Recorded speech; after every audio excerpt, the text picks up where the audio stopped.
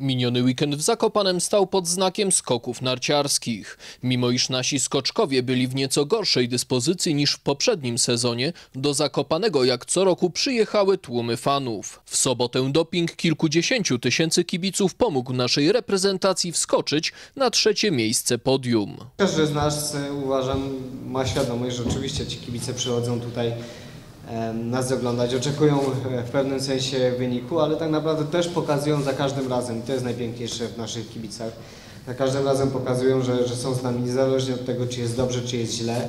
Ja tego doświadczam od, od początku tego sezonu, dostaję mnóstwo informacji zwrotnych, że kibice są z nami, wspierają nas.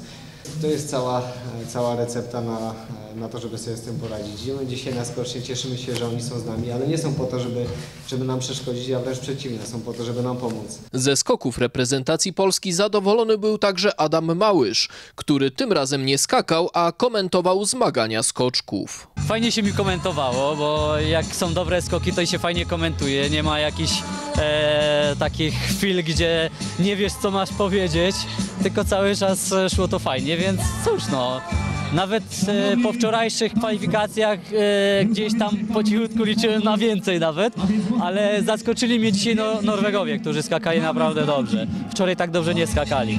Ale cóż no, nasi skakali stabilnie, dobrze i, no, i takich chcielibyśmy ich widzieć. Mi się fajnie siedzi oglądając to, bo wiem doskonale, że, że teraz mogę być bardziej spokojny, że ja też nie będę dostawał głupich pytań, czemu jest źle, co jest nie tak i tak dalej, tylko mogę śmiało mówić, że jest coraz lepiej, a będzie jeszcze lepiej. Niedzielny indywidualny konkurs Pucharu Świata w skokach narciarskich w Zakopanem nie należał już do Polaków. Najlepszy z biało-czerwonych Kamil Stoch po skokach na 131,5 metra oraz 129,5 metra zajął ósme miejsce. Niedzielne podium w Zakopanem należało do dwóch Austriaków i Słoweńca.